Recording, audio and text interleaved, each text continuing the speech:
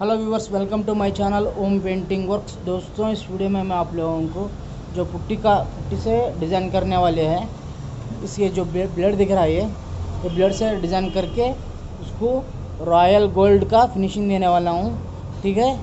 और आपको ये वीडियो अच्छा लगा तो हमारे वीडियो को लाइक करके सब्सक्राइब कर लो इस चैनल पर ठीक है? चलो अभी काम शुरू करेंगे।